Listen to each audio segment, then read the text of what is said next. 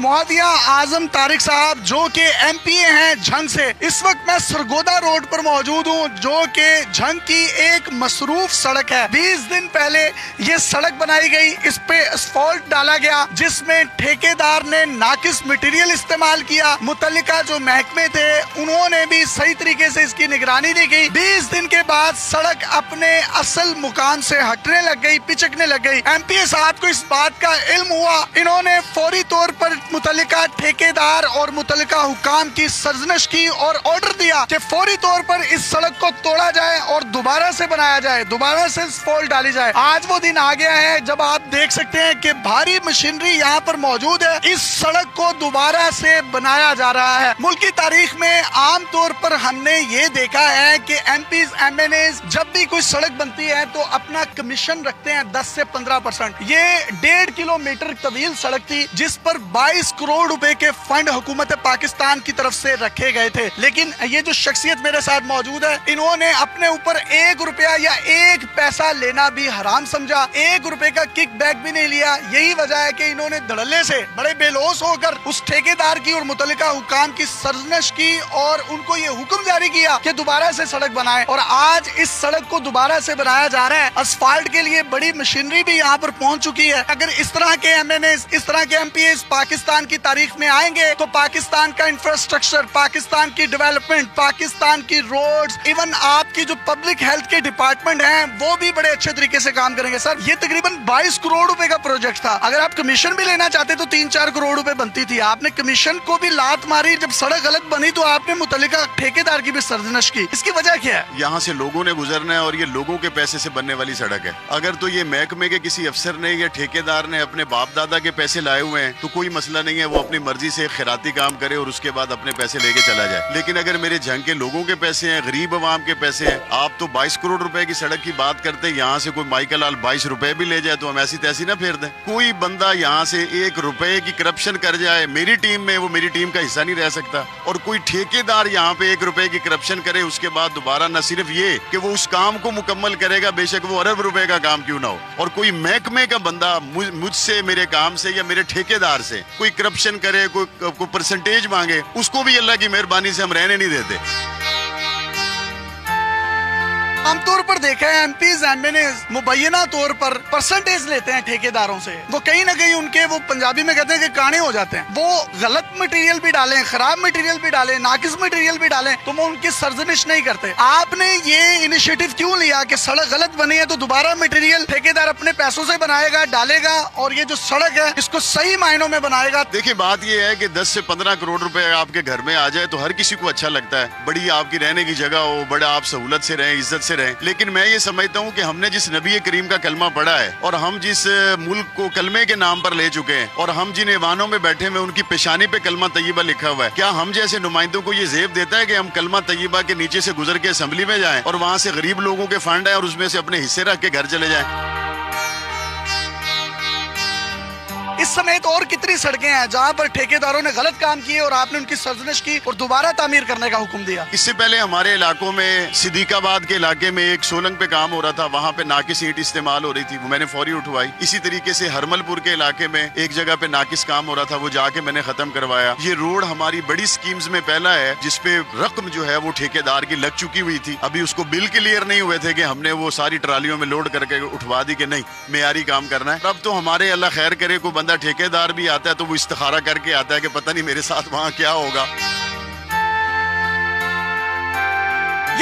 मरले के एक छोटे से किराए के घर में रहते हैं। इनके वालिद साहब भी सात दफ़ा एम और एम एन एज मजमू तौर पर इसी हल्के से बने। ये वाहिद एम पी है पाकिस्तान के, जो नायब खतीब भी हैं। लोगों के मसले मिसाइल जो हैं, वो मसाजिद में सुनते हैं। उसकी रीजन ये है कि नबी करीम वसल्लम भी फलाही काम होते थे। सियासत खिदमत का काम है, खिदमत का नाम है। उन तमाम के मामला को भी मसाजिद में सुना करते थे। ये तो बड़ा ज़बरदस्त इनिशिएटिव है, लेकिन बदकिस्मती से हमारे जो दीनी रहनुमा भी हैं, रुफका भी हैं। उन्होंने मस्जिदों को नमाज़ की हद तक, एतकाफ की हद तक महदूद रखा, उसके बाद ताले लग जाते हैं। तो उनको कोई पैगाम देना चाहेंगे क्योंकि आप दीन को भी रिप्रेजेंट करते हैं। मैंने तो मसाजिद के हवाले से ये तजवीज़ भी उस्मान बुजदार को और पीएम इमरान खान को दी थी कि आप मसाजिद के जो हाल हैं, उन्हीं को आप पनागाह के तौर पे इस्तेमाल करें ताकि लोग वहाँ पे आए। आप देखें कि हजूर सलाम को मिलने के लिए जब ईसाइयों के वफूद भी आते थे तो हजूर सलाम उनको मस्जिद नबवी में ठहराते थे। मसाजिद हमारे बुनियादी तौर पर कम्युनिटी सेंटर्स होते हैं।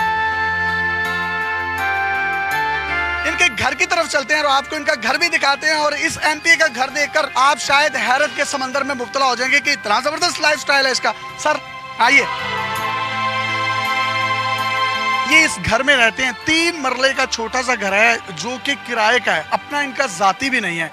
इनके वाली साहब इमाम मस्जिद थे। मस्जिद की इमामत की वजह से उनको एक रिहाइश के लिए जगह दी गई थी जो कि रेंट पर है और जिसका किराया ये आज भी पे करते हैं। इनके घर का जो पाइप है, वो भी टूटा हुआ है। अगर मैं इनकी गलियों की बात करूँ तो टूटी हुई गलियाँ हैं। इन्होंने वो तमाम गलियाँ जो इनकी गली से इर्द गिर्द की हैं, मोहल्ले से इर्द गिर्द की हैं, उनको प्योरिटी पर पहले बनवाना शुरू किया और अपनी गली की बारी बाद में आती है। अगर मैं घर की बात करूँ तो एक शटर है, इस शटर को ऊपर उठाते हैं खुद ही और गाड़ी को अंदर लगा दिया जाता है, जिसके बिल्कुल साथ एक ऑफ़िस है और ऑफ़िस में सब लोग नीचे बैठते हैं, उनके मसले मसाइल सुनते हैं। ये सामने बिल्कुल इनके घर के मस्जिद है। ये पहले एम पी है जो नायब खतीब भी है मस्जिद में, जुम्मा भी पढ़ाते हैं और इमामत भी करवाते हैं नमाजों की। मैंने अपनी ज़िंदगी में कम से कम ऐसा एम पी या मैंने नहीं देखा, जिसके घर का पाइप भी टूटा हो और पानी की लीकेज हो रही हो वहाँ से। पैसे कहीं छुपा के रखे हुए हैं या तर्ज ज़िंदगी है ही है? आपने पहली मरतबा ऐसा एम पी ए देखा है? मैंने अपने से पहले एक एम पी ए भी ऐसा देखा हुआ है। उस एम एन ए और एम पी ए का नाम मौलाना आज़म तारिक है, जो मेरे वालिद साहब थे। उन्होंने न सिर्फ़ ये कि जेल में बैठ के इंतखाब जीत लिया, बल्कि यहाँ हज़ारों लोग अपने मसाइल लेके आते थे। मैंने ये सब कुछ उनसे सीखा। वाला घर भी आपका देख रहा हूँ, जिसमें टी आर और गार्डर पड़े हुए हैं। बड़ा खस्ता हाल है। घर क्यों नहीं बनाया? वाले साहब भी सात दफ़ा असम्बलियों में पहुँचे। आप खुद भी असम्बली में हैं। जितनी एक एम एन ए या एम पी ए की तनख्वाह होती है, उससे अगर ऊपर वाला घर बनता होता, उससे अगर बड़े बड़े फार्म हाउस और हिरन और मोर और खूबसूरत एक ज़िंदगी का नक्शा कायम किया जा सकता होता तो मेरे वाले साहब भी कर लेते, मैं भी कर लेता। मुझे तो उस तनख्वाह में ये सब कुछ बनता हुआ नज़र नहीं आता। अगर किसी का बन जाता है तो वो मेरे साथ रबता ज़रूर करे ताकि मैं भी अपने लिए आसानियाँ पैदा कर आपके अपने घर की और गली की जो सड़क है, वो अभी तक खस्ता है। लेकिन इर्द गिर्द की आपने सड़कें सोलिंग करवा दी है। इसकी रीजन क्या है? सियासी नुमाइंदे का मतलब ये है कि आप उस कौम के खादिम होते हैं। खादिम अपना खूबसूरत गली, मोहल्ला, सब कुछ बना ले और बाकी लोग पीछे रह जाए। मैंने पहले काम शुरू करवाया मर्जीपुरा में। मुख्तलिफ़ इलाकों में, हरमलपुर में, लूले शाह में हमने वहाँ काम शुरू करवाया। लेकिन मैंने मोहल्ले वालों को कहा, पहले आपकी गलियाँ बनेगी, मैं आपको भी विज़िट कराता हूँ। आखिर में मैं अपनी बनवाऊँगा, अगर ग्रांट बच गई तो।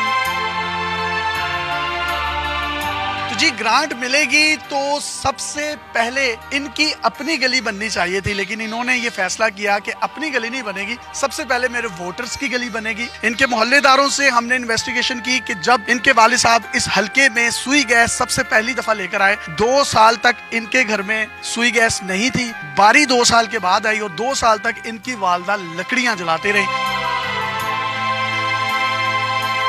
आपके वाले साहब ने मस्जिद में सियासत की, सात दफ़ा उन्होंने यहाँ से इलेक्शन जीते। तो क्या करोड़ों रुपए उन्होंने लगाया? या उनके पीछे कोई बड़े इन्वेस्टर्स थे? मिम्बर मेहराब की ज़िम्मेदारी भी अल्लाह ने हमें दी है। इन लोगों की सियासी ज़िम्मेदारी के लिए अल्लाह तला ने हमें मौका दिया। हम यहाँ पे इलेक्शन पे करोड़ों रुपए लगाते नहीं है। मेरे आठ लाख रुपए लगे हैं मेरे इलेक्शन पे। इसलिए मैं ये समझता हूँ कि हमारे लोग हमसे जितनी मोहब्बत करते हैं, हम ईवान में पहुँच के फिर उनको भूलते भी नहीं।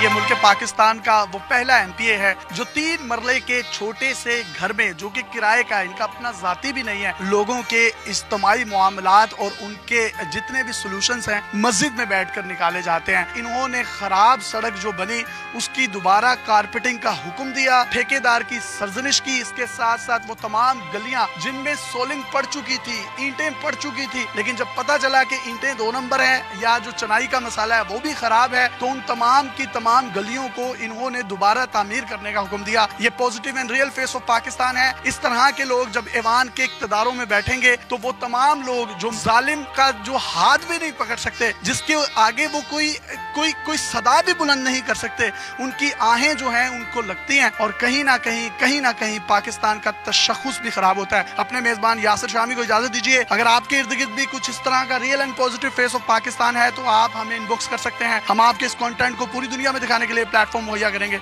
इजाज़त दीजिए।